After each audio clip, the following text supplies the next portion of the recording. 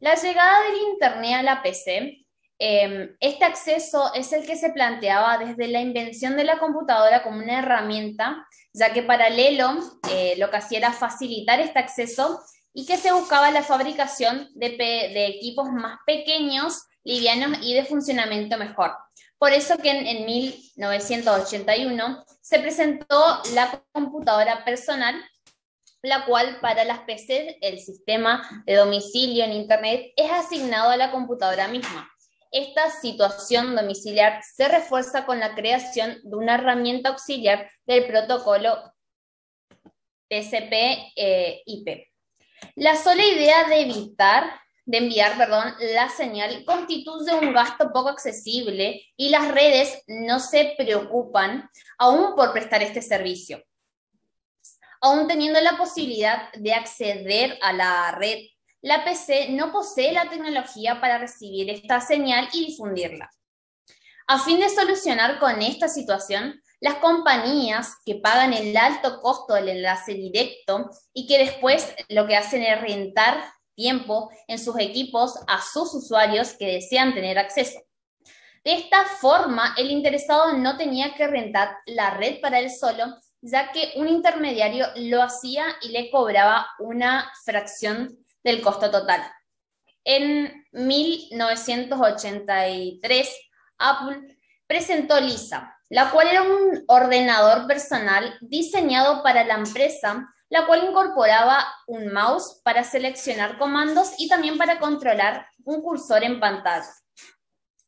Em, eh, lo que abría era las posibilidades de poseer una red mejorada y vistosa en la que se podían integrar más elementos, además eh, del mouse como el elemento clave que era el accesorio propio de ese sistema.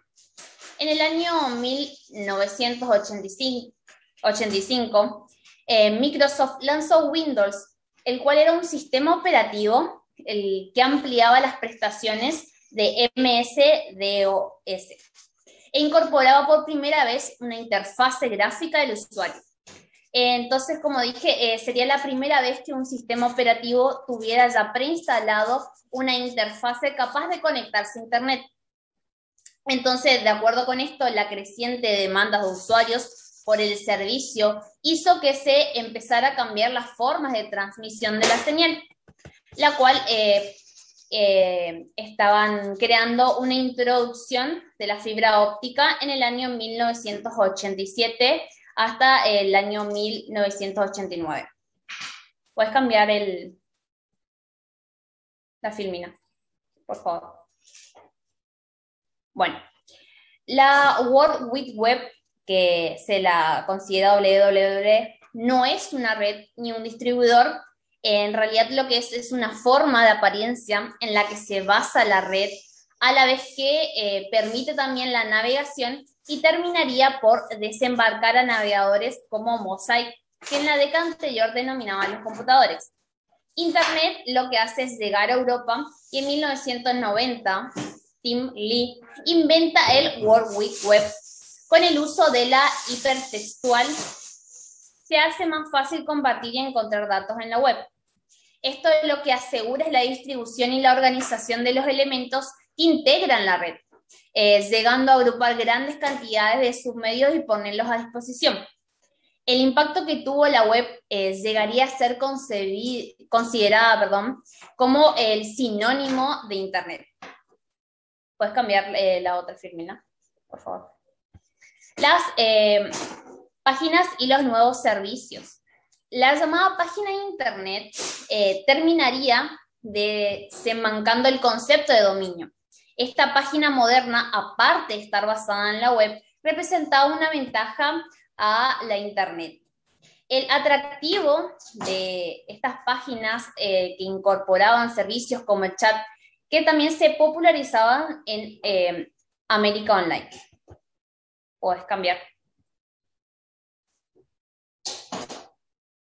El nuevo ciclo y el futuro de la Internet.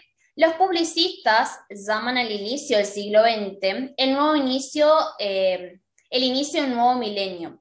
El Internet ya era un medio de comunicación masivo. Aparte Google, que era el buscador más poderoso, pertenece a una, nueva generación de motores de búsquedas capaz de reconocer una importante cantidad de páginas web y también ofrecer una respuesta muy rápida en las consultas.